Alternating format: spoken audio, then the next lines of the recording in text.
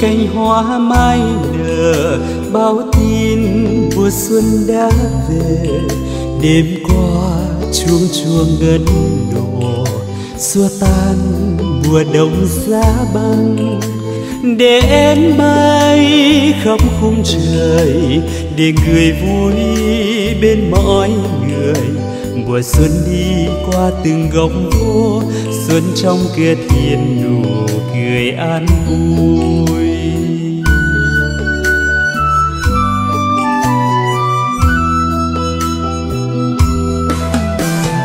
À, tìm đâu trong cõi vô thường lòng người vẫn xanh. Mai vẫn nở dù đời có mong manh. Sương thắm lạnh mai càng thêm thắm tô điểm cho đời mùa xuân ngát xanh tìm đâu trong cuộc bể dâu. Chân lý diệu vời vang vọng khắp năm châu. Tâm phật dạng người tình thương mến, mang đến cho đời mùa xuân bớt tận. Gió đưa mùi hương chiến đàn, thoáng bay về nơi cuối trời. Chắp tay tâm thành khấn nguyện xin cho bình an khắp nơi, để tiếng ca khắp khung trời, để tình thương cho cuộc đời. Mùa xuân sang, tâm hồn sao xuyên xuân trong kia thiên nụ cười an nhiên.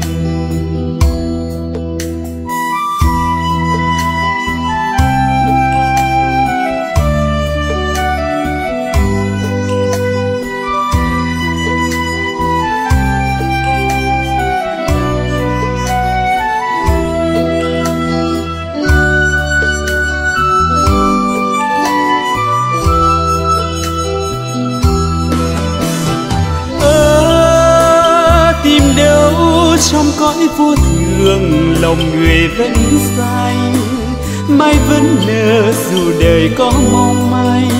Sương thắm lạnh mai càng thêm thắm tô điểm cho đời mùa xuân ngắn dài,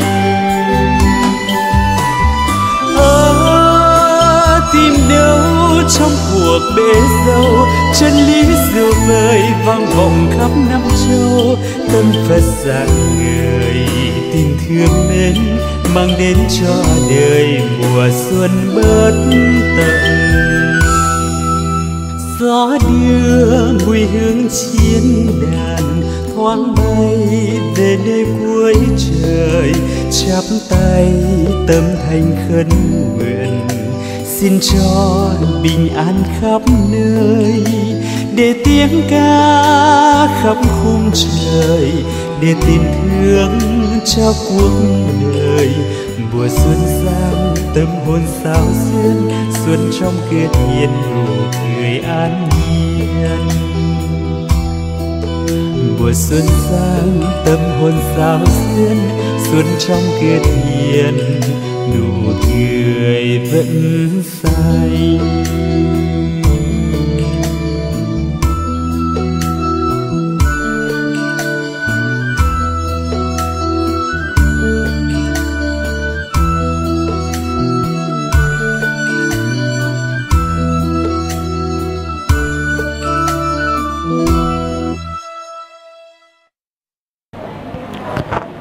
Nam mô Bổn sư Thích Ca Mâu Ni Phật. Tác Đại Chứng Minh.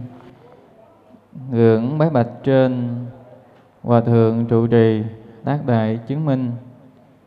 Ngưỡng bái bạch trên Chư Tôn Đại Đức Tăng tại Bổn Tự Tác Đại Chứng Minh. À, kính thưa cùng toàn thể quý nam nữ Phật tử thân mến. À, hôm nay là ngày à, tổng kết của khóa tu cuối năm à, tại chùa Xuân Hòa của chúng ta à, cũng à, đầy đủ duyên lành. À, thầy được về đây để à, dự cái buổi lễ này và sách tấn để quý nam nữ Phật tử theo đó mà tu tập. Thì trước khi vào buổi à, chia sẻ Phật pháp sáng hôm nay thầy xin kính nguyện hồng ân tam bảo gia hộ cho quý nam nữ phật tử lúc nào cũng được nhiều sức khỏe tu hành tinh tấn và gặp dạng niềm vui trong cuộc sống. Nam mô a di đà phật. À kính thưa quý phật tử. Như vậy thì hôm nay là cái ngày tổng kết khóa tu cuối năm của chùa chúng ta. Thì à, nó à, tạo dấu mốc cũng như là đánh giá lại trải qua một năm trời tu hành. Thì quý nam nữ Phật tử đã tu tập được những gì và những gì chưa tu tập được, chưa thực hành được. Thì cái này là chúng ta tự bản thân mình mình à, kiểm điểm lại để à, sang năm tới mình có cái sự tu tập nó tiến bộ hơn năm nay. Và à, cũng à, cái ngày tổng kết này bản thân của chúng ta cũng hiểu thêm một chút xíu nữa là mình thêm một tuổi mới phải không các phật tử? À tết tết đến là các phật tử thêm một tuổi mới. Mà thêm một tuổi mới nghĩa là mình sao? Mình già đi phải không? À thêm một tuổi là mình thấy là cái sức khỏe mình nó yếu. Cái tuổi già của mình nó cũng như thế mà ta nói là, là già thì sao các phật tử? Già thì sao? Già thì đẹp hay xấu? Ờ à, ý ta mới hỏi vậy ha. À, già thì xấu phải không? Ở đây có ai già mà đẹp không? Ai đâu chỉ coi. Ai. Già mà đẹp. Già mà đẹp thì ờ, xin kính thưa các phật tử khó có lắm. Cũng khó thấy lắm. À, à bây giờ á, mình đã nói tới cái vấn đề mình nói tới nội dung là chữ già thì hôm nay mình cũng chia sẻ cái bài pháp thoại cũng dính chữ già vô. Đó là bài pháp thoại tựa đề là tuổi già và tâm già. À xin kính mời các phật tử cùng lắng nghe. Bây giờ nãy giờ mình nói tới cái chữ già thì bây giờ chữ già mình định nghĩa sao? Khái niệm của chữ già mình phải nói như thế nào kính thưa các phật tử? Khó nói lắm. Chữ già này khó định nghĩa khó nói lắm. À, bây giờ mình cứ suy nghĩ là giờ chữ già phải nói làm sao định nghĩa làm sao? Phân tích làm sao? À, thì giờ mình hiểu chung chung cái chữ già thôi. À, mà dấu hiệu của chữ già. Ví dụ như còn trẻ thì à, trí nhớ của mình minh mẫn mình nhớ dai. À, sức khỏe của mình có thể là à, mình làm việc từ sáng cho tới chiều. Như một lát sau là mình phải nói là mình hết mệt. Còn tuổi già thì sao? Làm việc từ sáng tới chiều làm việc nổi không? Không nổi. À mình ngồi lâu thì sao? Ngồi, ngồi lâu thì sao? Đau lưng. À, rồi á mà nghe mà quý thầy ở trên này mà nói nhiều á thì nghe rõ không? Thu thập hết không? Hết không? À, có người ngồi trên đây thì nghe hết chứ những cô phía sau là nhiều khi ngủ gục luôn á. Nghe không rõ luôn á. Cho nên là còn nó cũng bị hạn chế bởi cái tuổi già. Mà nói tới cái cái cái chữ già thì á mình xin hiểu thôi chung chung thôi bây giờ mình nói ra cái vấn đề này nó mới ngộ đây nè, mới tu tập đây nè. Bây giờ tuổi già, thì trong cuộc sống này ai cũng cũng già, ha? Các phật tử chúng ta đã nhớ ai cũng già. Nhưng mà có những cái lúc phải nói là cũng dính vô cái chữ già già sử dụng được và nhiều khi già là phải nói là đem bỏ luôn. Ví dụ bây giờ mình à, ăn cái cọng rau muống, mình ăn cái à, trái đậu bắp thì cộng rau muống này mình nó già quá ăn được không? Nghĩa là già đem bỏ, phải không? Nhưng mà tuổi già của mình đem bỏ mình chịu không? Sao bỏ được, phải không? Cái trái đậu bắp già rồi ăn được không? Vậy sao? Bỏ. Phải không? Chứng tỏ là chúng ta già là chúng ta sử dụng không được rồi. Già coi như đồ bỏ rồi. Nhưng trong Phật pháp của chúng ta, nó có cái nhìn thâm thúy vào trong cuộc sống mà đó là mình mình nói về những trái cây hoa quả á, thì nó già thì dĩ nhiên là sử dụng không được thì bỏ. Nhưng con người của mình á, mà càng lớn tuổi á, thì nó có lợi ích trong cuộc sống rất nhiều. Cho nên đức phật khuyên dạy là nên tôn trọng tôn kính người già. Nếu như người già mà đi tu tập đó thì phải dành những cái chỗ phải nói là giường chiếu mùng niệm đàng hoàng để cho những người già ta nghỉ ngơi. Đồ ăn, thức uống phải phải nói là tinh sạch, phải ngon nhất dành cho những người già, người lớn tuổi. Đó. Cho nên là các phật tử là những vị bây giờ thầy nhìn thấy là không ai trẻ hơn thầy chứ. Phải không? Đố các phật tử năm nay thầy nhiêu tuổi? Sáu chục hả? Đâu dữ vậy? đố các phật tử, thầy năm nay nhiêu tuổi? Nhiều 40 phải không? Sắp sửa 40 Nhưng mà thầy bảo đảm một câu chắc chắn như đinh đóng cột là trong đạo tràng này không ai bằng tuổi thầy được hết. Phải không? Ở đây là ai cũng phải nói là bà có thầy với chị của thầy không à? Chứ không ai phải là con của thầy được hết trơn.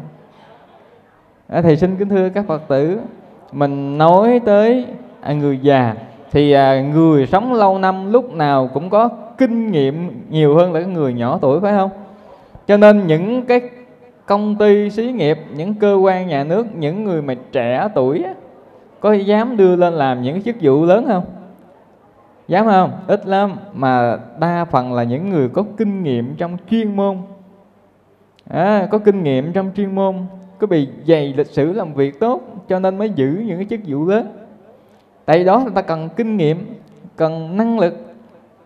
Còn những người trẻ tuổi còn non kinh nghiệm mình đưa giữ những chức vụ lớn là chết không được. Thì cái người già chúng ta là có kinh nghiệm trong cuộc sống. À, có có nhiều cái điểm mạnh trong cuộc sống có những cái nhìn nhận chính xác trong cuộc sống như vậy thì bây giờ quý nam nữ phật tử khi mà chúng ta đã nhìn thấy được cái lợi ích của tuổi già chúng ta rồi và đặc biệt là bây giờ tết tới nữa rồi thêm một tuổi nữa à, thêm một tuổi nữa thì quý nam nữ phật tử lại thấy là à năm nay sức khỏe của mình nó nó nó nó nó nó, nó bị sao nó già hơn năm ngoái. Suy nghĩ của mình cái sự ngồi tu tập của mình, nó cũng phải nói là hạn chế hơn năm ngoái. Nhưng ở đây, trong thời điểm này, thì muốn chia sẻ với các phật tử nhìn nhận vấn đề tu tập của mình. Bây giờ mình về đây mình tu tập, thì mình tu tập từ đầu năm cho tới bây giờ thì quý nam nữ phật tử cũng đã trải qua là những vị thâm niên rồi. Những vị thâm niên rồi 5 năm 10 năm rồi 20 năm có rồi tu phải nói là từ lúc mà tóc đen cho tới tóc tiêu tiêu luôn mà giờ tóc bạc luôn. Quá lâu rồi. Tuổi già tu tu từ lúc mà tuổi trẻ cho tới tuổi già thì bây giờ thầy muốn nhấn mạnh một câu là tuổi các phật tử già hay là tâm các phật tử già? À, cái tuổi già với tâm già khác nhau hoàn toàn luôn. Bây giờ mình đi vô vấn đề tu tập phân tích đây cái người lớn tuổi khoảng chừng 70 80 nhưng mà họ vẫn còn tham sân si. Thì cái tâm họ có già, cái tuổi họ già nhưng mà tâm họ có già không? Hả? Cái tuổi họ già đó nhưng mà tâm họ có già không? Không. Cho nên mình tu tập ở đây á, là mình phải nhìn triết lý nhà Phật của chúng ta chúng ta sửa đổi như thế nào mà để cho chúng ta già đạo chứ đừng để già tuổi? Già tuổi không quan trọng mà chúng ta già đạo hạnh, già đạo pháp. Cái này mới là cái đáng nói, ha. Mình đã đi về đây mình tu tập 5 năm 10 năm rồi.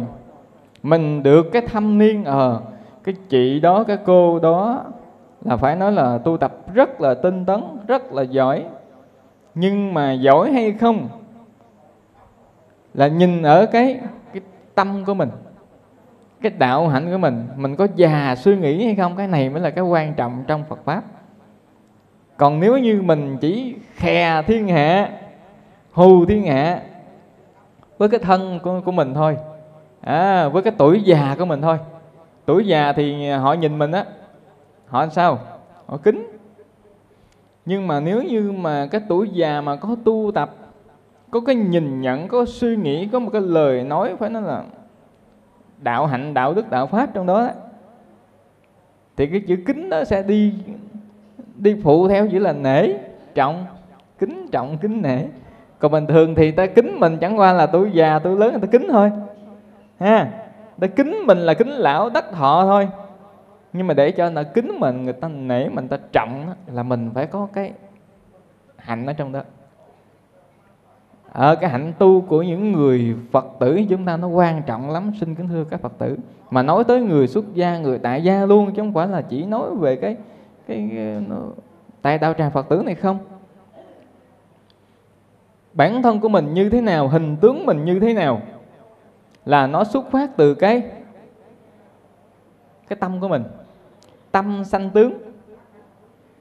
Nếu như tâm của các phật tử đẹp, tâm của các phật tử hiền lương, tâm của các phật tử có hạt giống thánh thiện trong đó, và cũng từ cái tâm thánh thiện này nó phát xuất qua cái lời nói hành động hàng ngày cuối năm nữ Phật tử thể hiện làm lợi cho cuộc đời này, hoặc là làm lợi cho cá nhân của các chị là các vị ở nhà, các vị có những cái thời khóa tu tập riêng biệt và tinh tấn. Từ cái chỗ phước báo nó sanh, làm cho tâm của các Phật tử nó đẹp. Mà tâm đẹp thì nó hiện ra cái tướng đẹp. Mà cái tướng đẹp của quý nam nữ Phật tử lúc bây giờ nó có rồi á, thì nó sẽ lan tỏa cái cái đạo hạnh ra ngoài.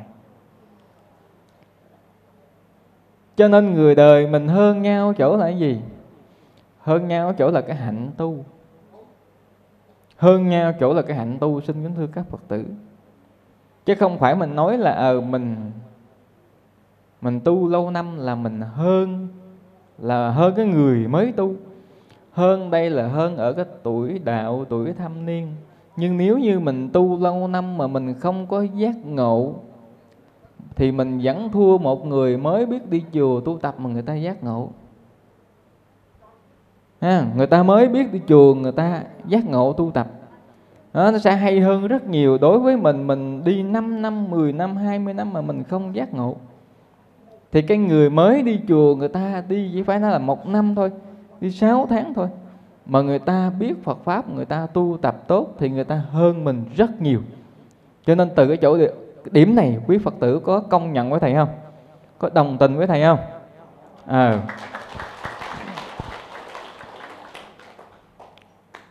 Đức Phật dạy, mình tu nhất kiếp mà mình ngộ nhất thời. Nhất kiếp bất tu dạng kiếp khổ. Một đời của mình biết Phật pháp, đây là cái đại nhân duyên phước báo. Tỷ tỷ kiếp về trước là quý nam nữ Phật tử đã có gieo duyên sâu dày với Tam Bảo. Cho nên trong đời hiện tại này, có tiếp tục nhân duyên để mà tiếp tục có nhân duyên để mà mình gặp được Phật pháp, mình tu hành. Nhưng do cái nghiệp duyên của mình, nó còn nhiều quá, cho nên tu lâu ngày, lâu tháng, lâu năm mà mình vẫn chưa tỏ đạo được. Thì cái này là cái sự mình phải nên buồn cho bản thân của mình. Và mình cố gắng mình tu tập để mình khắc phục những cái điểm yếu đó, mình phát triển những cái thánh hạnh, những cái đạo hạnh, những cái thiện pháp của mình chứ mình không có buồn và đồng thời mình cũng không nên ganh tị hay là phỉ bán chê bai những người có đạo hạnh tốt hơn mình.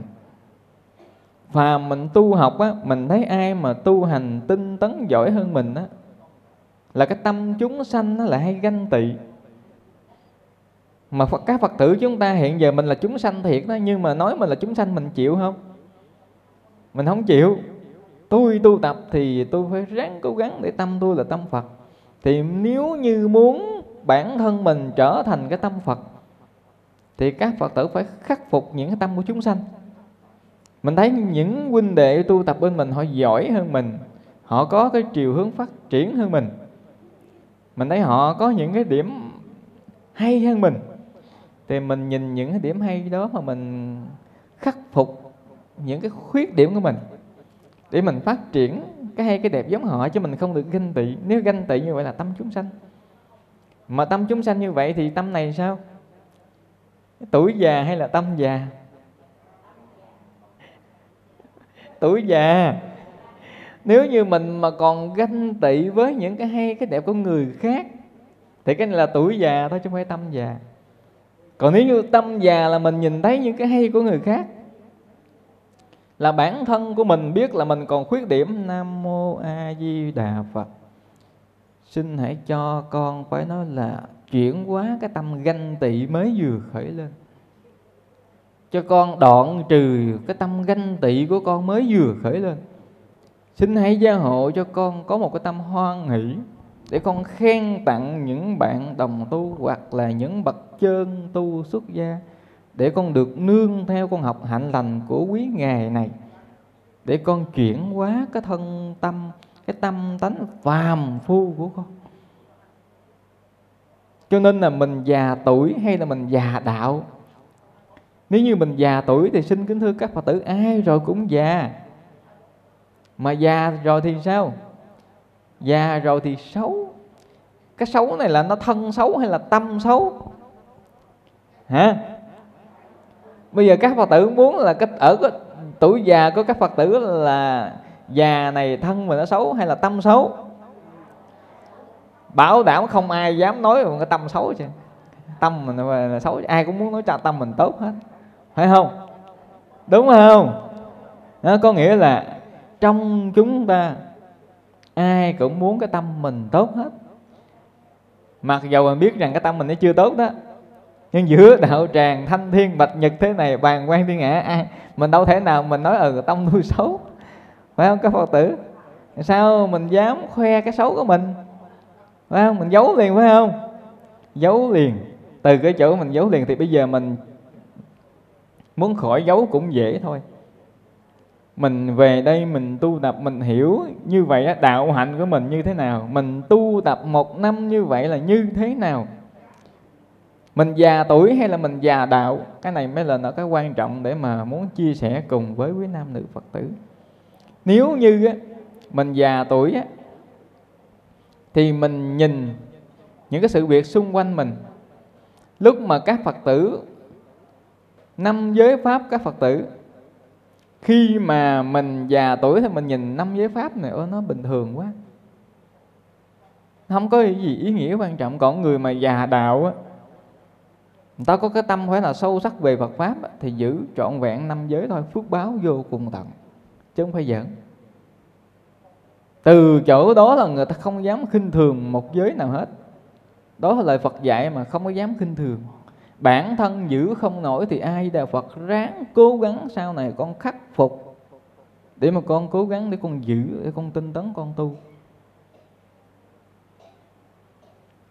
Cái người mà già tuổi nghe cái người bạn đồng tu của mình nói xấu mình chút xíu thôi là có thể đứng dậy cự cãi lời qua tiếng lại. Rồi thù hận với nhau, rồi ghét với nhau luôn. Còn người mà già đạo á, người mà tâm già thì cái chuyện này người ta không có thể nào mà người ta để trong lòng. Mà người ta xem cái đó giống như là nước đổ lá môn thôi. Nghe giống như là một luồng gió thoảng qua thôi, không có để dính lại trong tâm. Cái người già đạo là họ họ có cái nhìn như vậy. Có nghĩa là họ buông xả, họ không có chấp chặt. Họ sẵn lòng, họ thương cho những người chưa biết Phật pháp. Thương cho những người còn mắc kẹt trong Phật pháp mình tu theo giáo lý Phật Đà không khéo cái mình chấp pháp. Mình chấp pháp mà mình chấp pháp cái mình bị bắt kẹt vào trong pháp. Mình tu pháp mà không thoát được ra cái pháp thì này sao gọi là tu pháp được? À, mình tu mà mình không thoát ra được thì sao gọi là mình tu? Cho nên xin kính thưa các phật tử mình lúc nào cũng nghiên cứu giáo lý Phật Đà và giữ cho cái tâm của mình nhận định sâu sắc về Phật Pháp cũng như là những hiện tượng xảy ra hàng ngày trong cuộc sống của chúng ta. Mình làm chủ nó, mình định hướng nó với hai cái hướng đi. Hướng đi này, cái lời nói này, cái hành động này, cái thâm ý này cái hướng đi trong cái lời nói này là hướng đi thiện hay là hướng đi bất thiện? Và từ đó các phật tử đi theo cái hướng các phật tử đã chọn. Cho nên người có tâm già thì họ nhận thức. Nhận thức được đâu là chân đâu là ngụy. Ừ, chân là những điều hạnh phúc, những điều lợi ích. Còn ngụy là ảo quyền, là giả, là không có thật là đau khổ, là phiền não, thì không có đưa tới hạnh phúc mà mình tu tập. Mà mình không thấy được cái hạnh phúc, mà thay mình chỉ thấy là cái phiền não, cái đau khổ, thì này là mình tu đúng hay là tu sai? Tu sai phải không? Nếu như các phật tử ứng dụng lời phật dạy, học hiểu lời phật dạy mà không ứng dụng vào trong cuộc sống ở nhà đó cái cách đối đãi chồng con cha mẹ. Cái cách đối đãi của mình nó không đúng với Phật pháp. Mà mình mình đi chùa mình tu cho nhiều vô mà mình không ứng dụng vào trong đời sống gần nhất, đó là gia đình của mình. Để xảy ra những phiền não hoài thì cái này là mình tu nó nó không phải là tu sai, nhưng mà mình chưa áp dụng lời Phật dạy vào trong cuộc sống. Cho nên mình bị phiền não mình bị phiền não cái này là do mình hay là do giáo lý Phật Đà? À, do mình phải không? Do mình ứng dụng nó không có hợp lý. Do mình đưa vào trong đời sống hiện tại của mình trong cái gia đình của mình nó không có hợp lý. Cho nên nó khác.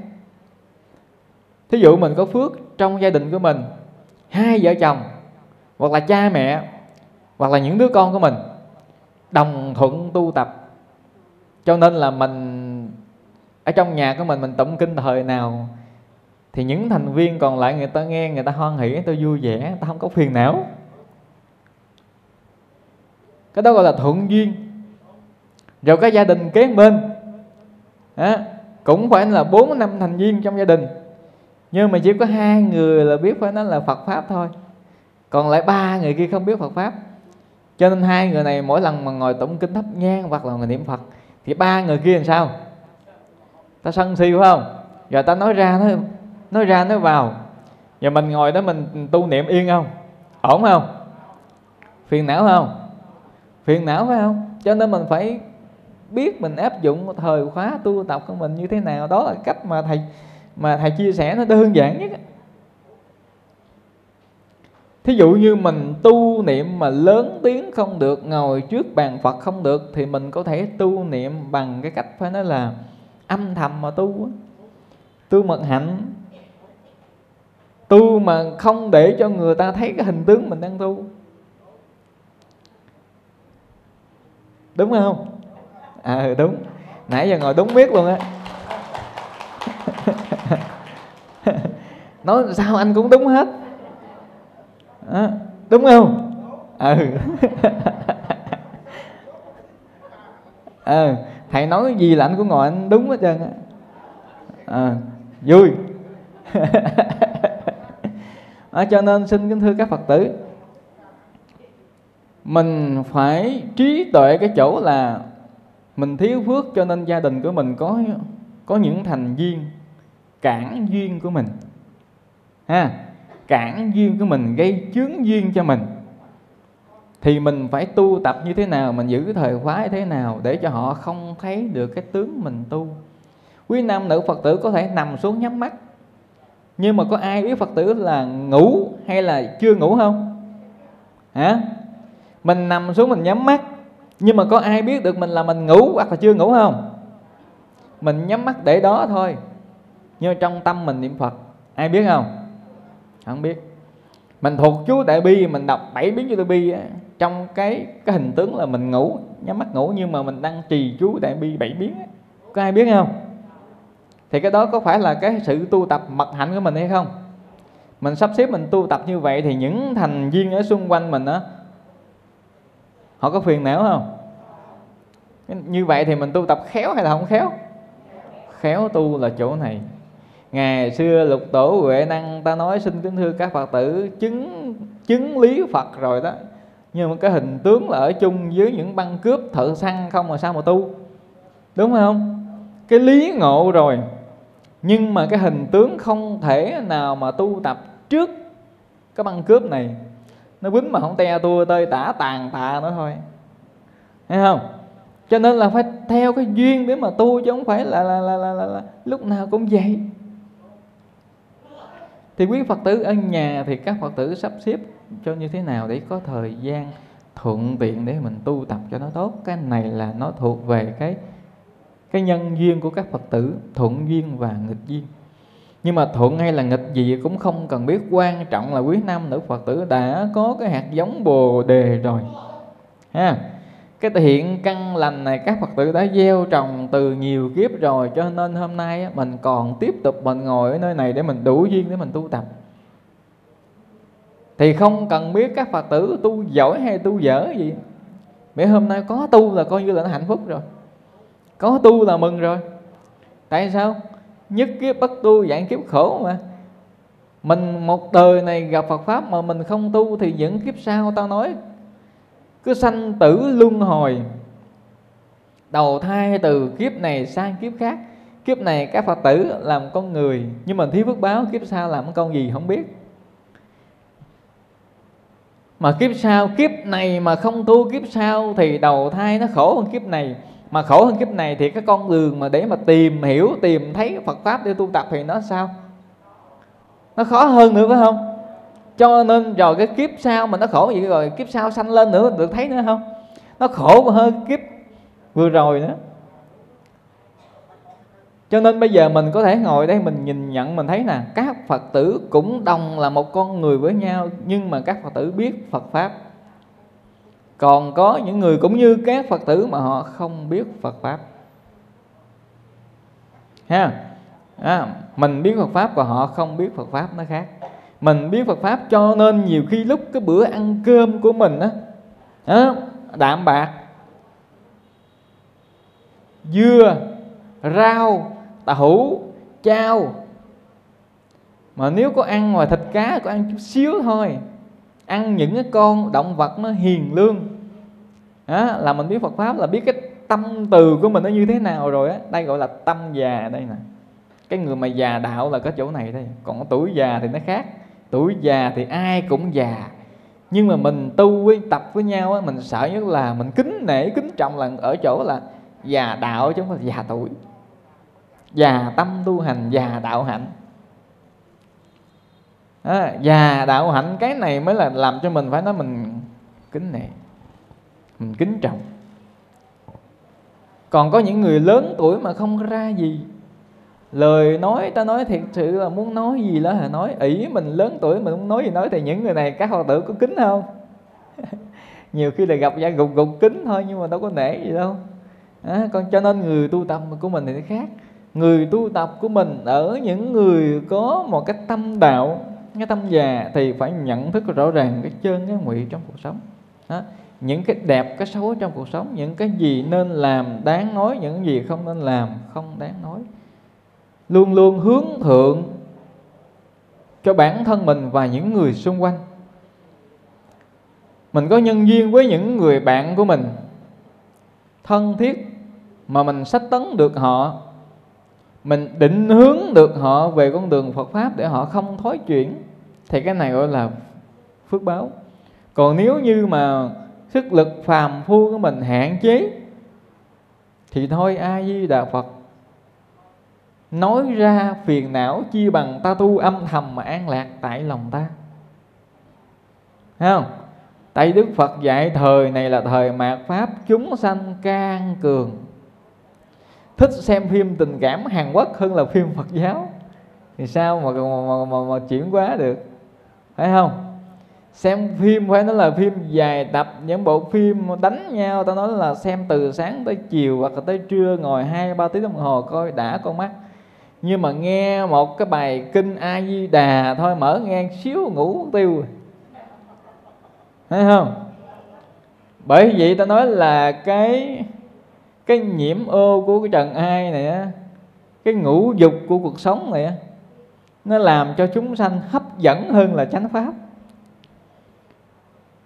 Mình có thể ngồi để mà mình có một chương trình ca nhạc, một tiếng rưỡi, trời, coi mà vui, hăng hái, thoải mái, cười, phơi phới nhiều khi ngồi đây nghe giảng pháp, hoặc là nghe tụng một bài kinh, khoảng chừng là ba ba lăm tới 40 phút thôi.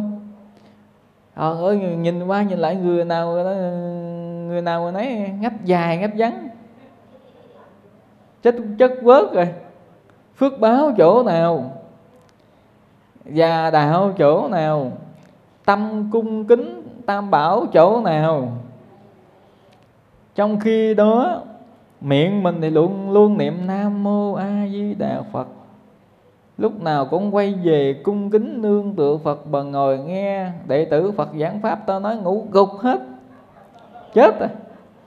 Ngồi nghe tụng kinh. Ngồi nghe tụng kinh quý thầy hướng dẫn đọc tụng niệm mà ngồi không có trang nghiêm nữa thì cái cung kính nó bảo chỗ nào? Đây có phải là chúng ta đầu môi trót lưỡi không? Như vậy là chúng ta chưa có một cái nhìn nhận chưa có một cái thật sự là cái tâm sâu sắc để mình tu hành. Ở đây cũng chưa được gọi là tâm già hay gọi là già đạo. À, cái nhìn sâu sắc của mình với tam bảo cái sự tôn kính của mình đối với tam bảo nó phải được thể hiện qua cái hình tướng hình dáng tu niệm tu tập của mình chứ không phải thể nào không phải lúc nào mình cũng nói trên cái đầu môi trót lưỡi. À, mình tu tập như thế nào mà người ở bên ngoài người ta nhìn vào thấy trời đạo tràng trang nghiêm đẹp quá đạo tràng tu Phật của những người tu tập bên Phật giáo, họ tu tập đẹp quá. Cái người tu tập tinh tấn là cái người già đạo đấy. Chứ không phải là mình đi chùa mình tu tập nhiều, mình không có vắng thời khóa nào thì gọi là mình tinh tấn. Đó là tinh tấn bình thường thôi. Đó là cái sự tinh tấn bình thường thôi. Còn cái sự mà tinh tấn trong cái tinh tấn đó mà thấy được, chúng ta giữ được cái nét trang nghiêm, cung kính tam bảo trong cái sự tinh tấn cái này mới là cái đạo hạnh này. Cái người này là cao tuổi, lớn tuổi mà lại có thêm một cái già đạo nữa thì người này là trọn vẹn phước báo. Xin kính thưa các phật tử. Thấy không? Trọn vẹn được phước báo. Thì bây giờ mình nhờ cái tâm của mình già cho nên mình mình hiểu biết được Phật pháp, mình nhận biết được chân ngụy. Rồi thêm đó nữa là mình nhận thức mình biết được. Mình nhận thức mình biết được là phải nói là giàu có của cải và giàu phước đức. Hai cái này các phật tử chọn thế nào? Giàu của cải và giàu phước đức các phật tử chọn cái nào? Hỏi ngược lại, thầy đi, thầy chọn cái nào? Chọn cả hai. Phải không? Hai cái này tại sao các phật tử bỏ một uổng vậy? Cái này là có quyền tham mà tại sao không tham? Chọn cả hai. Phải không? Giàu có về của cải và phước đức, phải chọn cả hai, tự nhiên chọn một cho uổng thì trời. Hả? Ai cũng ai cũng thích là chọn cái hai cái cái cái cái cái, cái vế thứ hai á là giàu phước đức. Nhưng mà giàu phước đức bây giờ không có giàu của cải thì sao mà tạo phước nhiều được? Đúng không các phật tử? Cho nên chỗ này là nên tham. Tham chỗ này nè giàu của cải và giàu phước đức luôn. À, giàu của cải giàu phước đức. Thí dụ như với những nghề nghiệp lương thiện làm ăn đàng hoàng của mình mà mình gây dựng lên được cơ ngơi, sự nghiệp ổn định thì cái giàu này là cái giàu chánh mạng của chúng ta. Cái giàu chánh nghiệp của chúng ta, theo lời Phật dạy trong bát chánh đạo. Những nghề nghiệp nuôi sống bản thân của chúng ta mà những nghề nghiệp đó không vi phạm pháp luật nhà nước. Ha, chúng ta sống với những cái nghề nghiệp, cái sự tính toán bằng trí tuệ của chúng ta mà những nghề nghiệp này nó không tổn hại làm đau khổ cho chúng sanh. Mà chúng ta ăn nên làm ra thì những nghề nghiệp này gọi là những nghề nghiệp chánh mạng. Mà khi chúng ta, cuộc sống của chúng ta nó ổn định, về mặt kinh tế như vậy mà chúng ta biết dung bồi công đức phước báo nữa, thì xin thưa quý nam nữ phật tử, phước đức này không biết để đâu cho hết. Cho nên mới nói là có những mạnh thường quân người ta giàu sang phú quý. Người ta cúng dường, xây chùa 5 tỷ 10 tỷ 20 tỷ. Đối với mình á, bạc triệu trong tay mình không có, thì mình thấy trời số tiền là lớn quá. Cả đời tôi mơ một tỷ. Để trong người không có nổi mà người ta cúng dường, xây chùa 10 tỷ 20 tỷ. Trong khi đó người ta cúng dường 10 tỷ 20 tỷ mà người ta có tới 1 ngàn tỷ là thì 10 tỷ 20 tỷ có đáng hay không các Phật tử? À, ví dụ như các Phật tử có 10 triệu trong túi mà các Phật tử xài có 100, 200 ngàn, 300 ngàn được không? Các Phật tử thấy cái số mà mình cầm trong tay là 10 triệu mà mình xài có 100, 200, 300 à. Thì các Phật tử thấy có nhiều không? Có xịu phải không? Thấy bình thường thì cho nên những người mà người ta giàu bạc ngàn tỷ, người ta bỏ ra 10 tỷ 20 tỷ 30 tỷ, người ta xây chùa, xây xây chùa, xây đình này kia, nó rất là bình thường. Những người ta cái giàu có phước báo như vậy, cho nên người ta tiếp tục người ta dung bồi của phước báo. Mà tại sao những người mà ta có phước báo, ta giàu dữ vậy? Kính thưa các phật tử còn mình nhiều khi mình nghèo dữ vậy nè. Hả? Tại sao nghèo dữ vậy? Thầy nhớ là thầy ờ, có giảng những cái bài pháp thoại với tựa đề là à, tại sao mình nghèo? Lý do mình nghèo như đó. Quý nam nữ phật tử có thể là nghe thêm những bài pháp thoại này thầy chia sẻ. À, để nhiều khi mình nghe mình hiểu hơn. À, nhưng mà xin kính thưa các phật tử giàu vật chất là chúng ta phải có sự tích tụ phước báo. Âm đức âm phước trong nhiều kiếp tu hành mới có được như vậy, mới có được thành tựu viên mãn trong ngày hôm nay. Nhưng trong đời hiện tại này, quý nam nữ phật tử đã biết phật pháp rồi thì mình phải tu tập như thế nào để mình giàu phước đức? Và muốn giàu phước đức làm sao? Muốn giàu phước đức phải làm sao nè đây là cơ hội để cho các phật tử thể hiện cái tâm già của mình nè. Chứ đừng thể hiện cái tuổi già nha, tuổi già hay lẫn hay quên đó đứng lên phát biểu trước quốc là đại chúng ta cười đó. À, đây là giây phút để thể hiện cái tâm già của các phật tử đây. À, à các phật tử bây giờ mình phải tu tập như thế nào để cho cái tâm của mình nó giàu phước đức kìa? À, cái tâm về mình như thế nào để cho nó giàu phước đức mà trong những thời giảng pháp hay là trong những cái thời làm những phật sự gì mà nó có công đức phước báo đó là sau cái thời đó điều người ta điều nguyện đó hồi hướng đó. À, nhớ liền phải không? Nói vậy nhắc nhắc nhẹ nhẹ là các phật tử đã nhớ phải không? Nguyện đem công đức này phải không? À, thì bây giờ bản thân của mình tu tập hàng ngày ở nhà nè hoặc là mình đi chùa nè thì các phật tử phải ngay giây phút này, các phật tử tạo cho mình một cái duyên phước báo. Hãy thể hiện tâm từ của mình thương khắp tất cả chúng sanh đi. Chứ không có chỉ riêng thương cho gia đình mình thôi. Nếu thương gia đình mình thôi thì tâm của mình vẫn còn sao? Bỏng sẻn, ích kỷ. Còn mình hồi hướng cho khắp tất cả chúng sanh đều hạnh phúc giống như mình tổ tiên ông bà của mình giải thoát, mình cũng cầu nguyện tất cả mọi chúng sanh đã khuất đều được giải thoát. Thì cái tâm này với cái tâm mà chỉ cầu nguyện riêng cho gia đình mình thôi, thì hai cái tâm này tâm nào lớn? Hả? Tâm hướng về chúng sanh lớn hơn phải không? Thì chỉ có hồi hướng thôi mà. Cầu nguyện hồi hướng thôi mà cũng ích kỷ nữa là sao tu thành phật được? Kính thưa các phật tử, đúng không? Bây giờ mình chỉ hồi hướng, mình hồi hướng cho gia đình mình thôi, còn chúng sanh sao? Kệ chúng sanh. Kệ đi. Ai biết tu tập rồi ờ, họ hưởng phước họ biết tu tập phải ráng chịu đi. Kệ đi.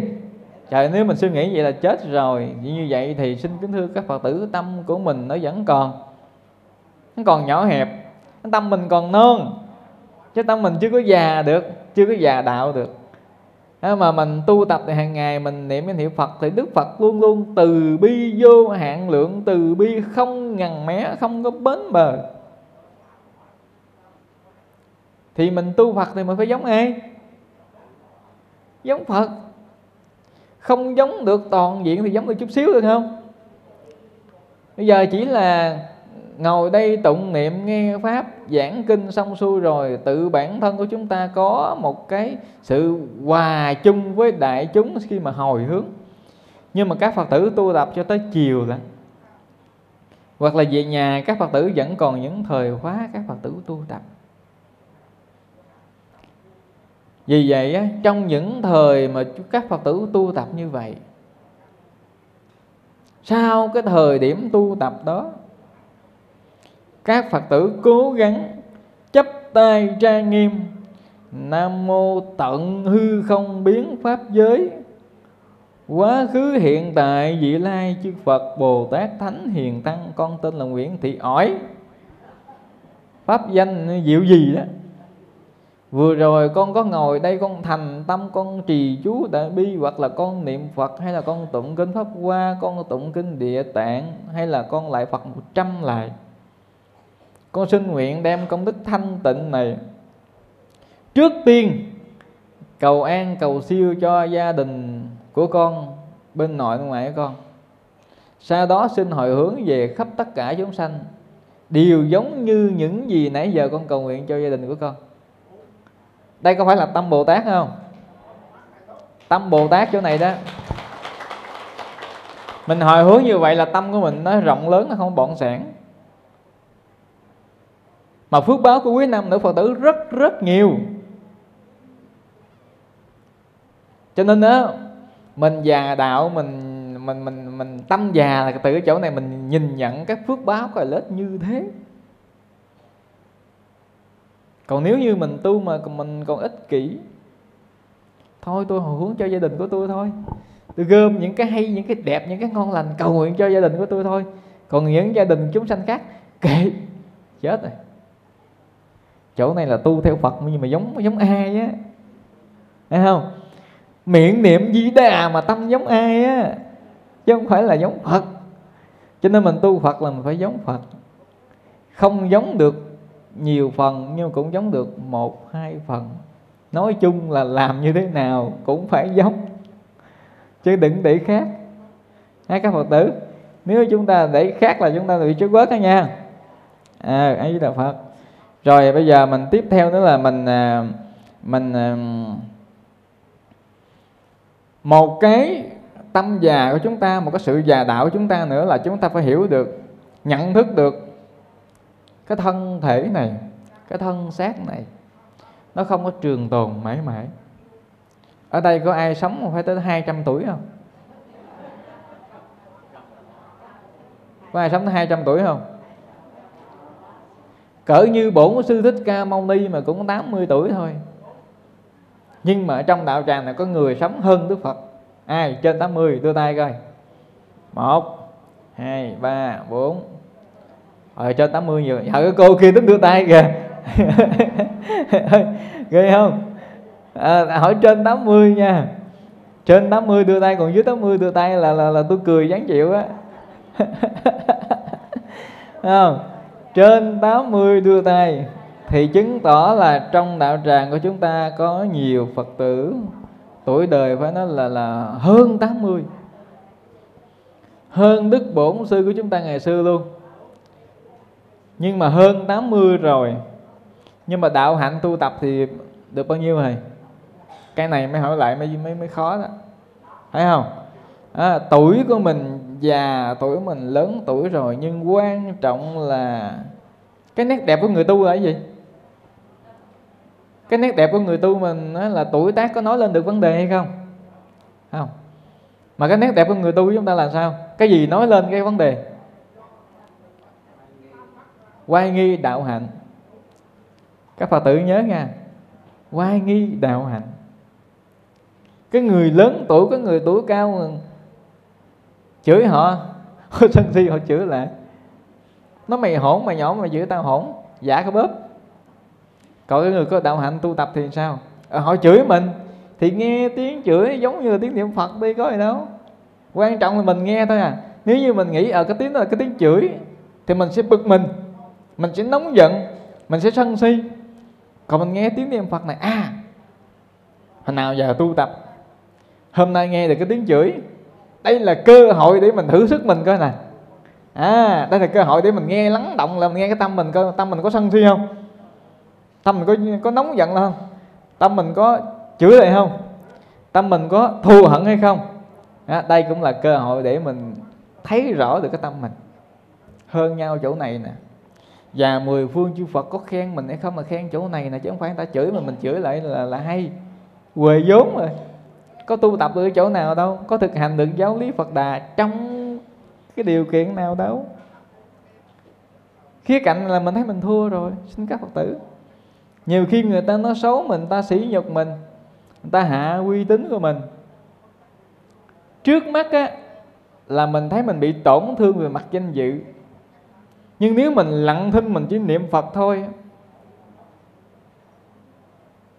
thấy mình bị tổn thương thấy mình bị thu thiệt nhưng thật sự là mình đang âm đức âm phước chỗ này đó.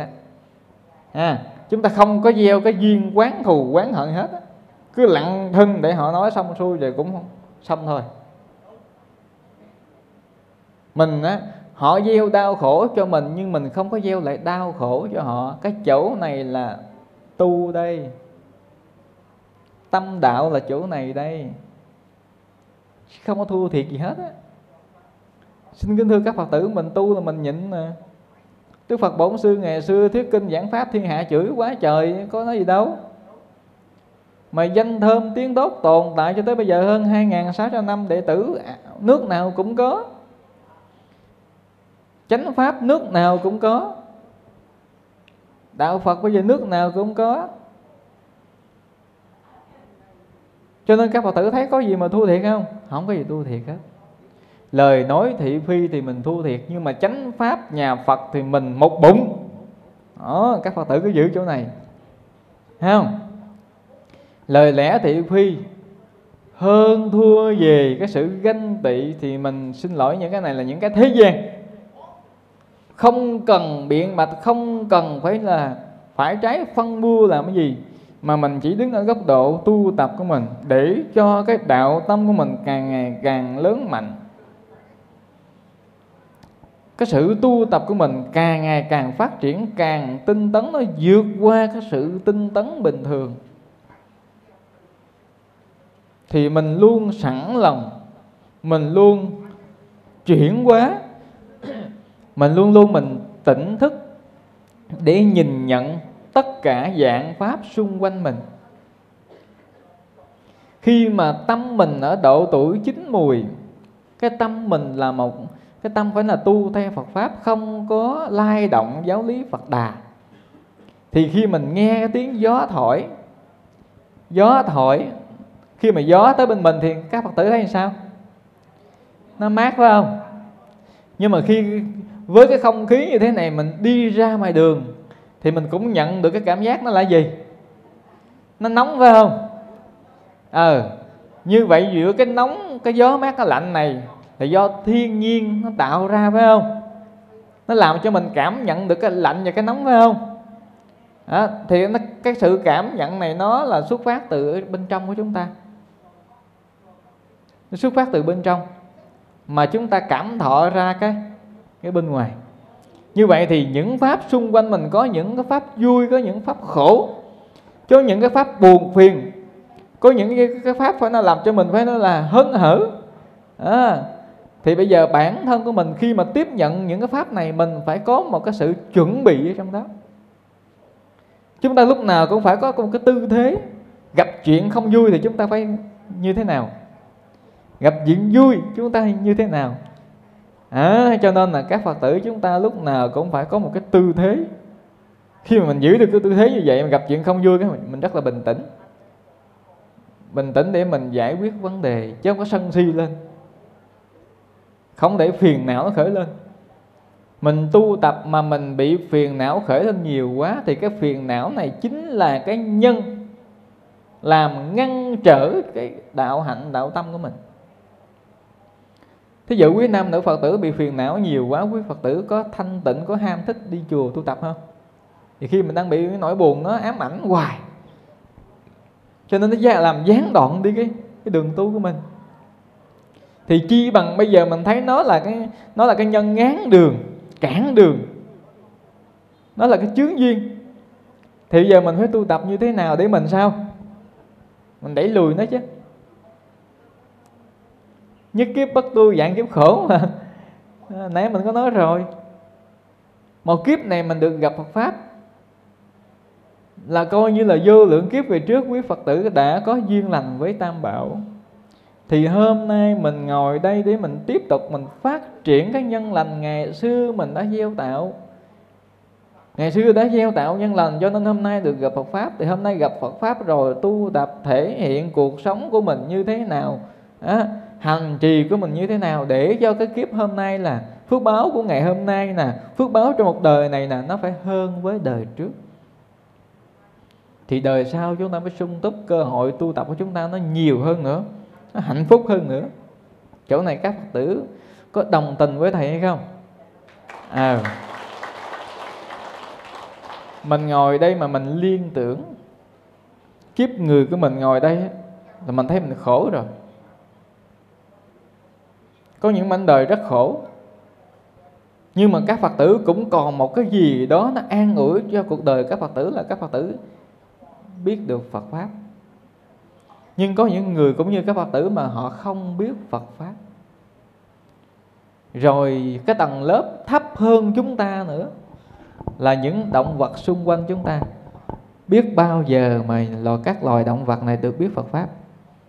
Mình nói thế giới loài heo thôi. Tuổi thọ của con heo là nó khoảng bao nhiêu tuổi? À, Đó, 6 tháng. Cô này chắc hay nuôi heo lắm nè.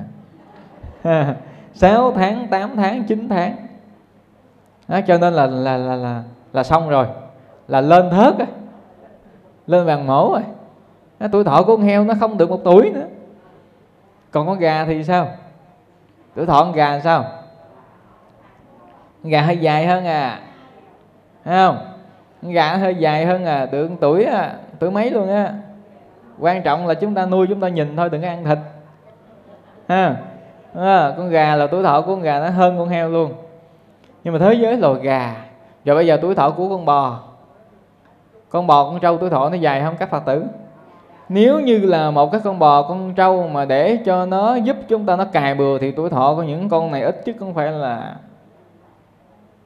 từ 5 tuổi cho tới 10 tuổi.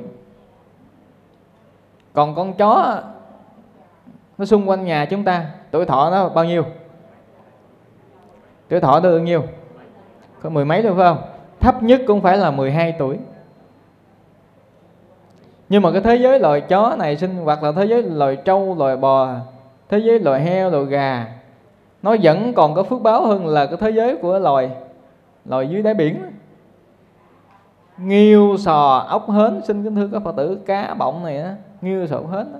cái loài này thì biết bao giờ bao giờ cho tới bao giờ mới được mới được sanh lên làm cái kiếp heo, kiếp gà và từ bao giờ bao giờ nữa để trở thành kiếp người như chúng ta?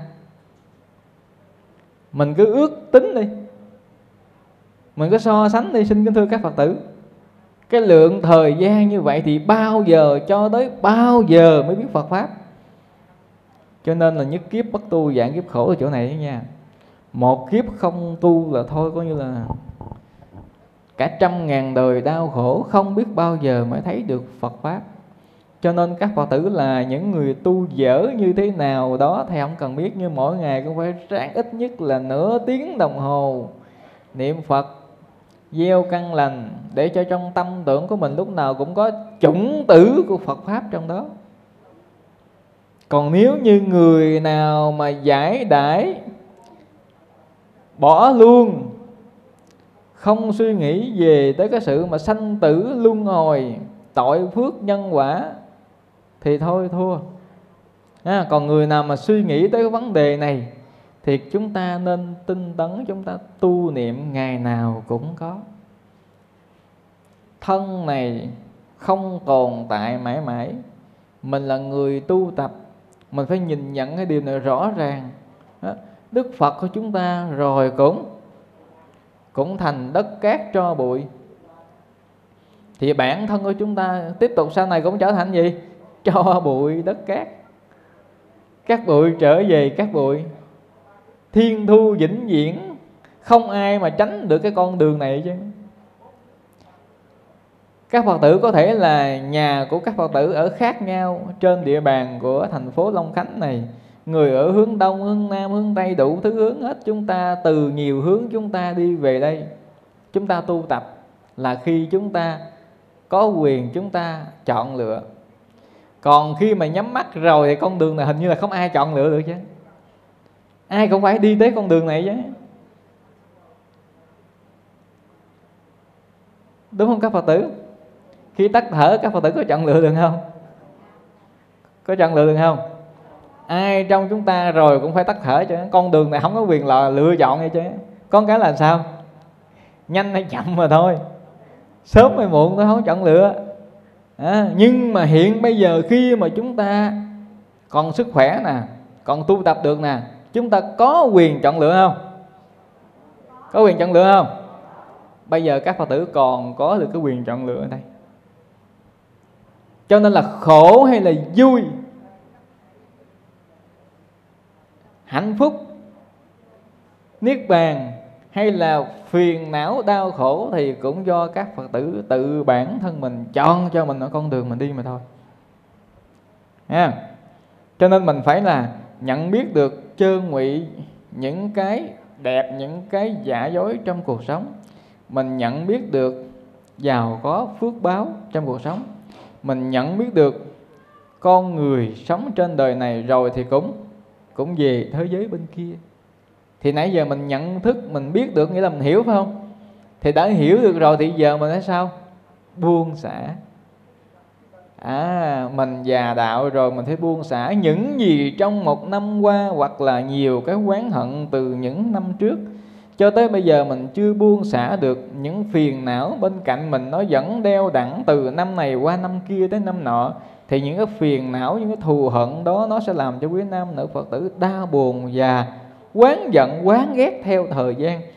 Mà mình ôm cái đó đi theo mình hoài thì mình cũng khó lòng mà giữ được cái tâm mình ở thanh tịnh khó lòng mà tu theo Phật pháp được lắm. Cho nên đây là một cái khóa tu cuối năm.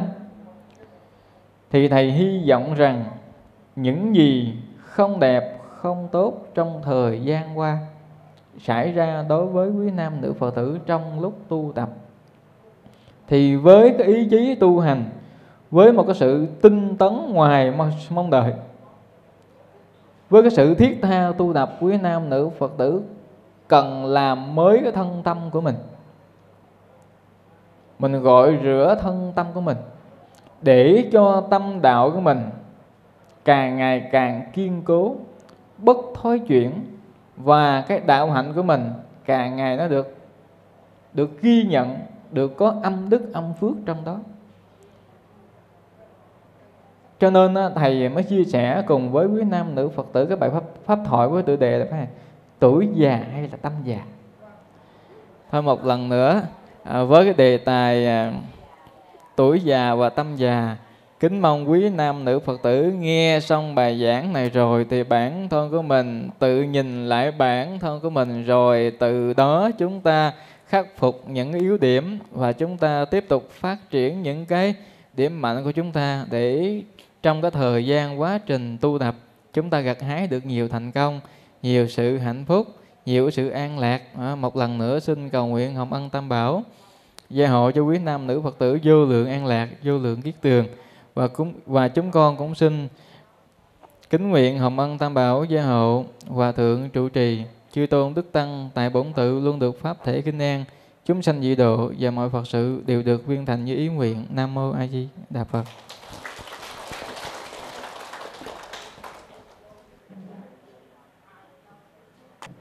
Nam mô Bổn sư Thích Ca Mâu Ni Phật. Nam mô A Di Đà Phật. Kính bạch Đại Đức Giảng sư. Thật là niềm hạnh phúc lớn đến với toàn thể Phật tử đạo tràng khóa tu niệm Phật của chúng con.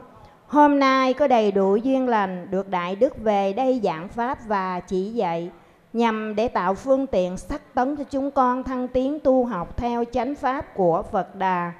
Dù Phật sự đa đoan, nhưng Đại Đức vẫn hoan hỷ sắp xếp thời gian quan lâm đến đạo tràng để ban bố cho chúng con một thời Pháp thật là quý báu. Toàn thể đạo tràng khóa tu niệm Phật của chúng con nguyện xin khắc cốt ghi tâm những lời giáo huấn của Đại Đức và hứa sẽ y giáo phụng hành để xứng đáng là người con Phật. Với ân đức cao quý này, đạo tràng Phật tử chúng con không biết dùng lời lẽ gì để nói hết được lòng tri ân sâu sắc. Chúng con xin thay mặt cho toàn thể đạo tràng khóa tu niệm Phật một ngày dứt tâm chùa Xuân Hòa, thành kính nguyện cầu hồng ân tam bảo, mười phương chư Phật gia hộ cho Đại Đức Pháp Thể khinh an, tuệ đăng thường chiếu, luôn là chỗ dựa vững chắc, cha chở và dạy dỗ cho chúng con trên bước đường tu nhân học Phật. Và sau cùng, đạo tràng Phật tử chúng con có chút tịnh tài tịnh vật, xin thành kính dâng lên cúng dường Đại Đức Giảng Sư, Cuối mong quý Ngài vì lòng thương tưởng đến hàng hậu học của đạo tràng Phật tử chúng con mà hoan hỷ chứng minh nạp thọ. Nam mô chứng minh sư Bồ Tát Ma Ha Tát.